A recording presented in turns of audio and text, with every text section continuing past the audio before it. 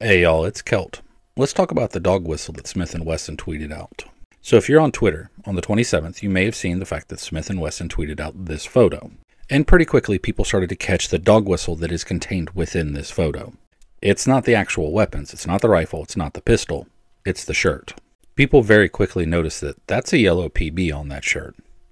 There's an organization that uses a yellow PB as their logo the Proud Boys. At this point, if you're unfamiliar with what the Proud Boys are, you haven't been watching the news at all. But just in case, the Proud Boys is a far right neo fascist extremist organization within the United States. It was initially founded by this guy, Gavin McInnes, based off a line from a deleted scene in the movie Aladdin, in which they sing a song called Proud of Your Boy. Yeah, the alpha male organization that likes to do things like storm the Capitol and harass drag queen story hours. Theme song is a Disney song. I would play it if it wasn't for the copyright strike, but go ahead and Google Disney's Aladdin, proud of your boy. But after noticing the yellow PB, people started to call out Smith & Wesson in the comments of their tweet, and Smith & Wesson kind of just doubled down. They simply deleted the original tweet and retweeted it, this time sourcing the shirt to an organization called Perception Brands.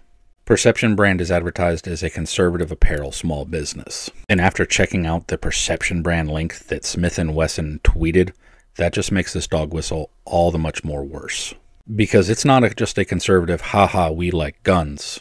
It's a full on conservative anti vax conspiracy theory clothing apparel brand. Selling boosted merchandise talking about the vaccine and Smash Your TV merchandise. So, next, after seeing all that, I went and checked out their social media. The only thing they have is a YouTube channel with like eight short videos, eight subscribers, so they started in 2001, and an Instagram.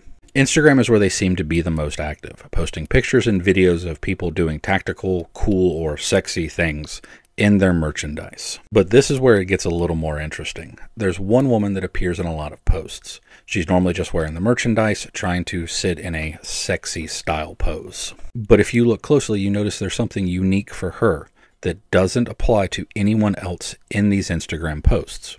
She's the only person that her face is not blurred out. Her face is out there in full display, but every man wearing this merchandise has their face blurred, cropped off, or they are positioned in such a way so that you cannot see their face. Even people that it's a full frontal video or picture, they have the old cops digital blurring of the face going on with them.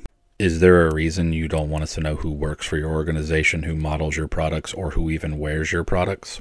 Could it be your entire company is one giant dog whistle? Regardless of what they say on Instagram, they are most definitely associated with the Proud Boys, at least in support of the Proud Boys. Because every detail of that yellow PB shirt was deliberately picked to mirror the Proud Boys logo and insignia as a dog whistle. The color of the Proud Boys is yellow and black.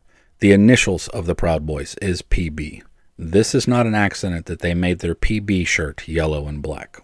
Yeah, they picked a different script than the Proud Boys do, and they didn't put the laurels around the PB like the Proud Boys do. And that's why it's a dog whistle. If it was exactly like that, it wouldn't be a dog whistle, it would just be a copy. Problem is, they flew a little too close to the sun with the back of the shirt. The back of the shirt features brass knuckles, also in yellow, with the PB in it, and the words, Support your local enforcer. Proud Boy members are commonly referred to by the media as enforcers.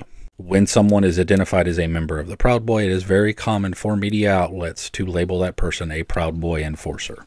This is a direct calling to that.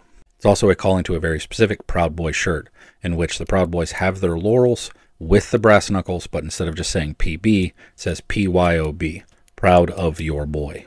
Remember, Proud of Your Boy is like their anthem from Disney's Aladdin, and where Gavin McInnes got the name Proud Boys from. This entire item is a mock-up of a Proud Boy shirt done up in such a way that you can try to deny that it's a Proud Boy shirt. But other people who would either wear this shirt or wear a Proud Boy shirt will see you in this shirt and know what it means. That you are a member or at least a supporter of Proud Boys. And this was not just tweeted innocently. This was actually endorsed. Their organization linked by one of the largest gun manufacturers within the United States guns and fascism are so ingrained in American culture, people will just see this and overlook it.